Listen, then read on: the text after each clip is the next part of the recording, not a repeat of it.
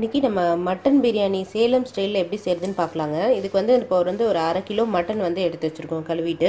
அப்புறம் நீங்கள் எந்த அரிசி யூஸ் பண்ணுறீங்களோ அந்த அரிசி எடுத்துக்கலாம். நீங்கள் சாப்பாட்டு அரிசி யூஸ் பண்ணுறீங்கன்னா அதை எடுத்துக்கலாம். இல்லைனா சீரக சம்பா அரிசி அதை எடுத்துக்கலாம். இல்லைனா பாஸ்மதி ரைஸ் வேணுனாலும் எடுத்துக்கலாம். நாங்கள் வந்து இன்றைக்கி வந்து சீரக சம்பா அரிசி வந்து ஒரு ரெண்டு டம்ளர் எடுத்து வச்சுருக்கேன்.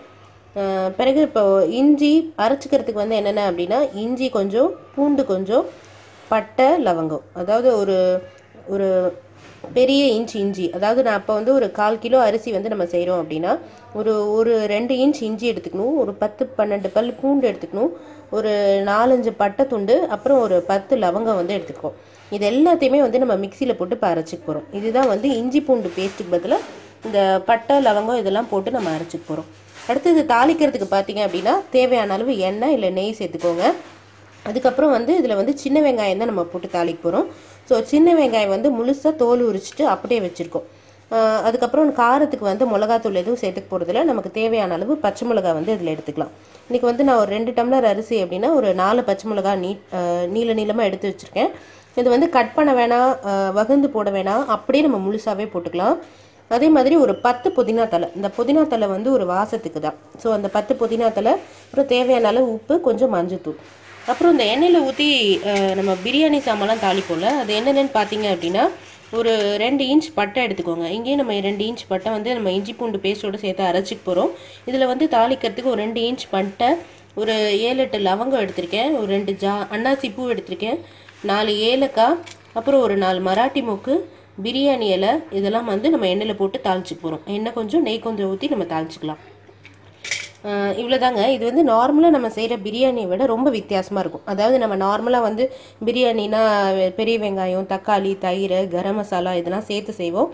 இந்த கரம் மசாலாலாம் நம்மளால் அரைக்க முடியாது. இல்லை ஈஸியாக நம்ம பிரியாணி செய்யணும். வித்தியாசமாக நமக்கு பிரியாணி செய்யணும் அப்படின்னா நம்ம இந்த மாதிரி மெத்தட் வந்து ட்ரை பண்ணி பார்க்கலாம். இஞ்சி பூண்டு மட்டும் இல்லாமல் இதில் பட்டையும் லவங்கமும் எக்ஸ்ட்ரா போட்டு நம்ம அரைச்சிருக்கோம்.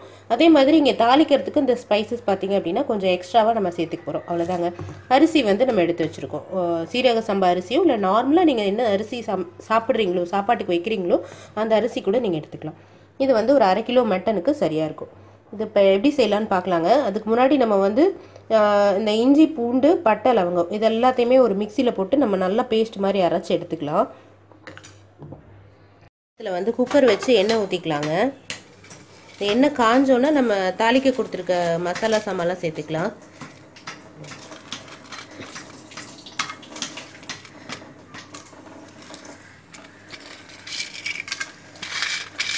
பட்டை லவங்கம் ஏலக்காய் அன்னாசி பூ பிரியாணி இலை இது எல்லாத்தையுமே நம்ம சேர்த்து போட்டுக்கலாம். நீங்கள் இதிலே போட்டு நெய் கூட கொஞ்சம் சேர்த்துக்கிறதுனா சேர்த்துக்கலாம். இப்போ இது நல்லா பொரிஞ்சோன்னே நம்ம எடுத்து வச்சுருக்க சின்ன வெங்காயம் சேர்த்துக்கலாம்.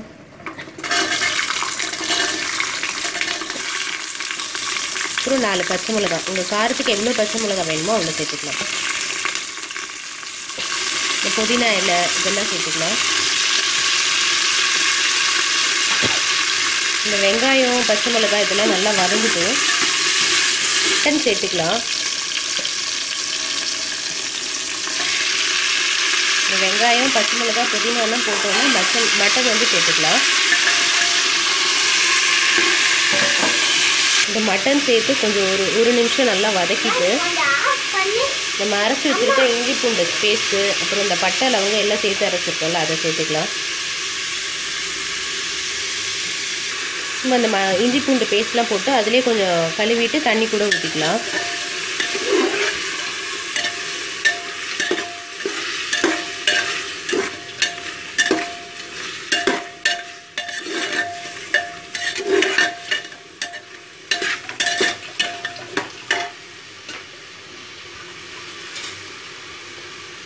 அப்புறம் நம்ம எடுத்து வச்சுருக்க மஞ்சத்தூள் கொஞ்சம் உப்பு. எவ்வளோ தேவையான அளவு உப்பு அந்த மட்டனுக்கு அவ்வளோ உப்பு சேர்த்துக்கலாம். மஞ்சத்தூள் சேர்த்துக்கலாம்.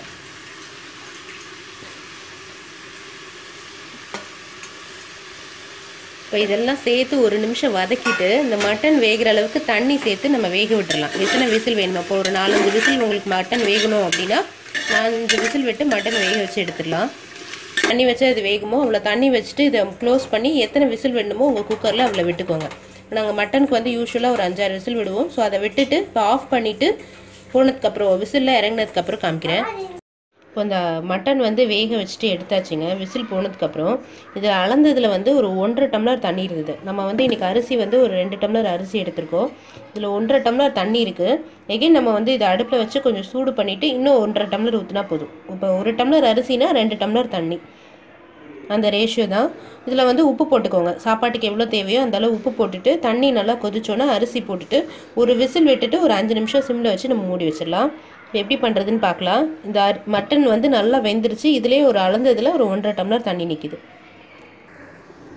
இப்போ இந்த தண்ணி வந்து நம்ம எக்ஸ்ட்ரா ஒன்றரை கப்பு ஊற்றி ஒன் இஸ் டு டூ ரேஷியோவில் வச்சு நல்லா கொதிச்சிருச்சு. இதில் நம்ம அரிசி வந்து சேர்த்துக்கலாம். இருபது நிமிஷம் ஊற வச்ச அரிசி. வந்து தண்ணிலாம் வடிச்சிட்டு அப்படியே சேர்த்துக்கலாங்க. இந்த ஸ்டேஜில் உப்பு செக் பண்ணிக்கோங்க. உப்பு செக் பண்ணிவிட்டு உப்பு பத்தலைன்னா போட்டுக்கோங்க.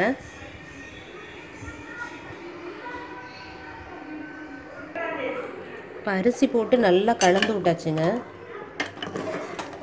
இப்போ மூடி வச்சு இது வந்து ஒரு ஒரு விசில் விட்டுட்டு அஞ்சு நிமிஷம் சிம்மில் வச்சுட்டு எப்படி இருக்குன்னு பார்க்கலாம்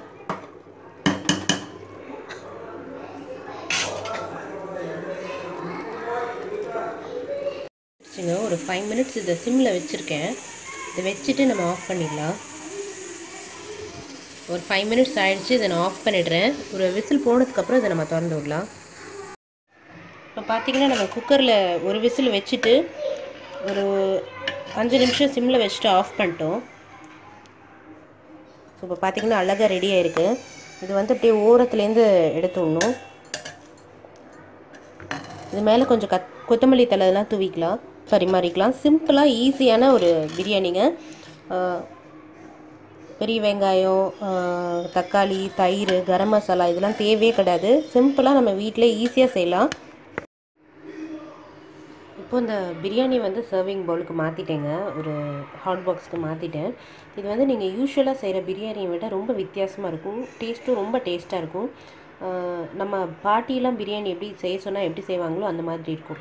நம்ம வந்து இதில் சின்ன வெங்காயம் பச்சை மிளகாய் அந்த இஞ்சி பூண்டு அதெல்லாம் மட்டும்தான் சேர்த்துருக்கோம். ரொம்ப டேஸ்ட்டாக இருக்கும் வித்தியாசமாக இருக்கும். இதை ட்ரை பண்ணி பாருங்கள் இந்த பிரியாணி உங்களுக்கு பிடிச்சிருந்ததுன்னா எங்கள் சேனலை சப்ஸ்கிரைப் பண்ணுங்கள் லைக் பண்ணுங்கள் கமெண்ட் பண்ணுங்கள் இதை ஷேர் பண்ணுங்கள் தேங்க்ஸ் ஃபார் வாட்சிங்